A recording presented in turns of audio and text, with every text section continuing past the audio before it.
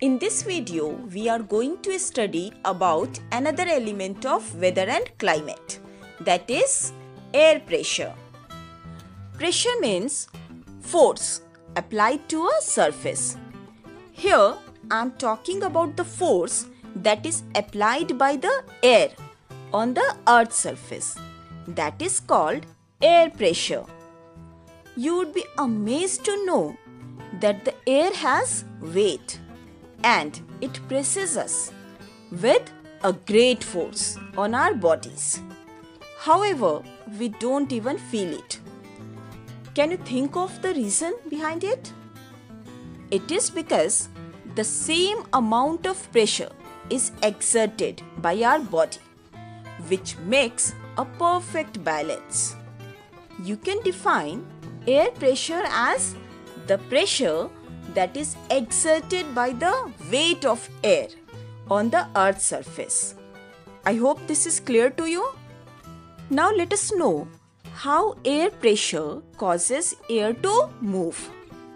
Air moves because of differences in pressure.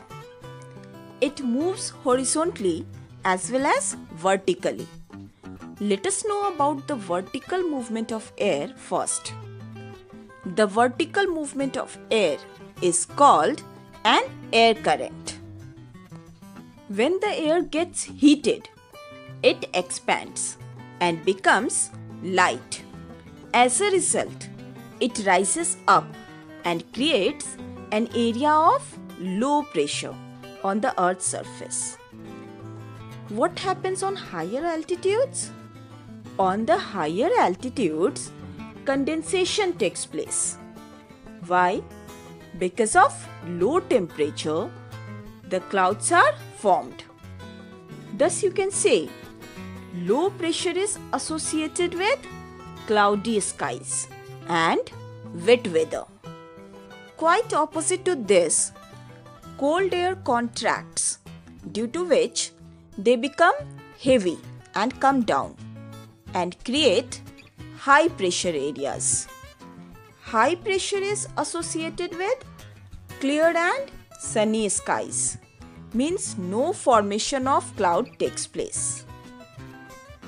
The air pressure is measured with the help of an instrument called barometer. Air pressure is highest at the sea level and decreases with increasing height. I hope this is clear to you. Now let us know about the horizontal movement of air. Near the earth's surface, the air moves from one place to another only if there is a difference in pressure. But what causes difference in pressure? It is caused due to differences in temperature. Always remember that high temperature creates low pressure because when air gets heated it expands and become light. Whereas low temperature creates high pressure areas and air always moves from the high pressure area to low pressure area.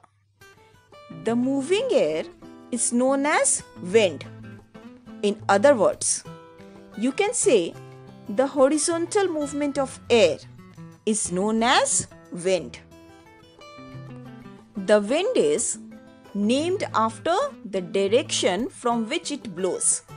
For example, the wind that originates from the western side is called the west wind. Similarly, the wind that originates from the south is known as the south wind. I hope this is clear to you. Winds can be broadly classified into three major types. The first one is planetary winds, the second one is seasonal winds, and the third one is local winds. Let us know about each one in detail. Planetary winds blow constantly in a particular direction throughout the year. Here in the diagram, you can see the permanent winds which blow in a fixed direction, such as northeast trade winds that blow in northeasterly direction. Then we have southeast trade winds that blow in a southeasterly direction. Other permanent winds are westerlies and easterlies. All these winds blow in a particular direction throughout the year and are known as permanent winds or planetary winds. Now come to the next one that is seasonal winds. These winds change their direction in different seasons. For example, monsoon winds in India. Monsoon winds blow in India in the southwest direction in monsoon season and in northeast direction during withdrawal of monsoon season. So here they are changing their directions in different seasons.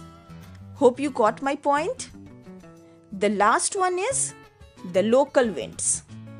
They blow for a short time during the day and over a small area.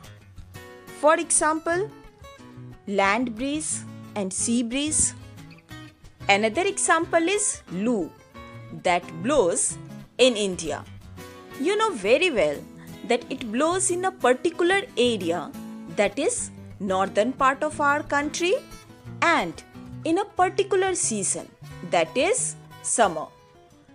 So you can say Loo is an example of local wind. I hope this is clear to you. So children, that were all about winds. In the next video, we will continue with moisture. Do subscribe my channel and get notifications about upcoming videos. Thank you everyone.